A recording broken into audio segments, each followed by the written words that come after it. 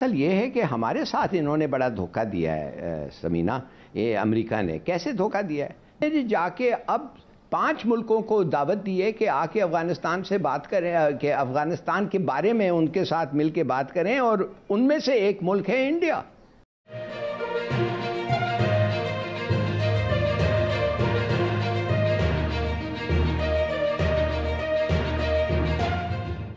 रही हैं कि शायद जो अमरीकी फ़ौज का इनखला अफ़गानिस्तान से वो ताखिर का शिकार हो जाए, उसकी क्या वजूहत हो सकती हैं? हिलाली साहब से जानते हैं। हिलाली साहब, कुछ ऐसी बातें आ रही हैं अमरीकी मीडिया में कि जो तयशुदा चीज़ें थी, उनमें शायद कुछ मजीद तरामीम होने जा रही हैं। क्या खिचड़ी पक रही है अफ़गानिस्तान में इस हवाले से? हाँ ये तयशुदा शुदा के बारे में ये है कि तालिबान ने जो अग्रीमेंट साइन किया था ट्रंप वालों के साथ वो था कि पहली मई तक हम निकल जाएँगे अफ़गानिस्तान से। अब वो बाइडन कहता है वो बहुत जल्दी है हम कोई और डेट चाहिए। तालिबान का जवाब ये है कि हमने माहा साइन कर लिया और अब इस पर आप आ, आ, ये करें आ, अमल करें। मगर बात असल ये है कि हमारे साथ इन्होंने बड़ा धोखा दिया है समीना ये अमेरिका ने। कैसे धोखा दिया है? देखिए, हम तो पूरा एविडेंस यूनाइटेड नेशंस को दे दिए हैं कि हम ये हिंदुस्तान, अफ़गानिस्तान से क्या क्या कर रहा है हमारे खिलाफ अटैक कर रहा है हमारे खिलाफ, ईरान और अफ़गानिस्तान से। और अमेरिकन ने जी जाके अब पाँच मुल्कों को दावत दी है कि आके अफ़गानिस्तान से बात करें, कि अफ़गानिस्तान के बारे में उनके साथ मिल के बात करें और उनमें से एक मुल्क है इंडिया। मैंने इंडिया अगर वो टेबल पे बैठेगा तो इंडिया क्या बोलेगा भाई। इंडिया तो गनी के साथ उनको पैसे देता है। उनका जो नेशनल सिक्योरिटी असिस्टेंट है वो इंडिया से पैसे लेता है। He is a paid agent of India वो अहमद जो उसका नाम है और दूसरे भी हैं ये सब बिके हुए माल हैं ये कठपुतली हैं अमेरिका के हम्म। और उधर और वो बैठ के इन लोगों के साथ बात करेगा on the future of Ghani government क्या फ्यूचर वो क्या कहेगा वो कोशिश करेगा कि हर चीज़ को गलत हो वो कोशिश हम्म। करेगा कि वो क्या कहते हैं मिसअंडरस्टैंडिंग्स और इंट्रीग्स और साजिशें पाकिस्तान के खिलाफ दूसरे मुल्कों के साथ करें और अमेरिका।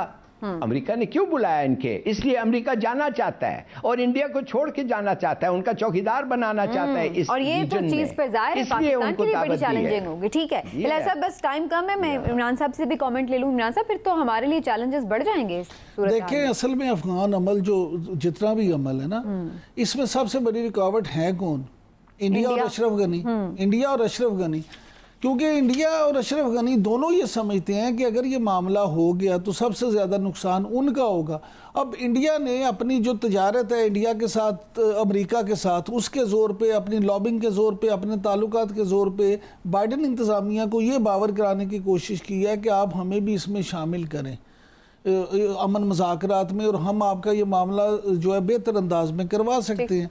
अब वो उसमें किसी हद तक कामयाब हो गए हैं लेकिन अब पाकिस्तान को इसमें सीधा साधा नुकसान है क्योंकि हम्म। अगर इंडिया इसमें आता है तो पाकिस्तान सिर्फ़ ये नहीं समझता कि मामला ख़राब होंगे बल्कि आप ये देखें कि इससे तालिबान जो हैं वो भी नाराज़ होंगे। तालिबान को भी इंडिया उस तरह से सूट नहीं करता।